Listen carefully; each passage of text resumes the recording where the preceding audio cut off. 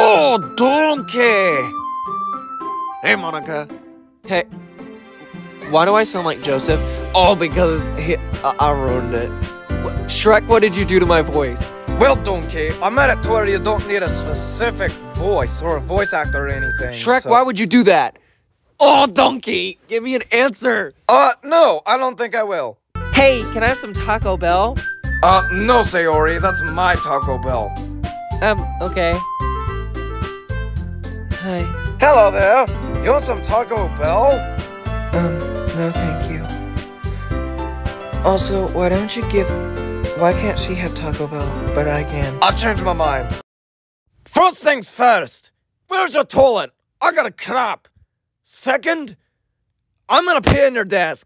Sayori, if you do, if you wake me up from my nap one more time, I swear I have a crap on deck like a jugu donkey. Do you understand? Now give me five more hours. Don't you mean five more minutes? Shut up, donkey! Shrek, change my voice back to normal right now. Monika, I have more important things to do. This is more important than whatever it is. Ogres have layers, onions have layers. Ogres have onions, and onions have ogres. I'm not doing that, donkey. Uh, yes, you are. I got a crap on deck like a chuga donkey.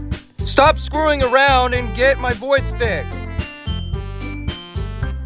Do it or I kick you out of my club. Oh, fine, donkey. I'll do it, okay? Now can I take a nap? Finally, my voice. Is this what we're gonna be using for my voice?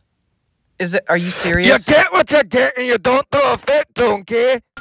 Joseph is very limited on voices and voice actors when it comes to female characters. So if you have a problem with it, then you can go take a crap in a bathtub.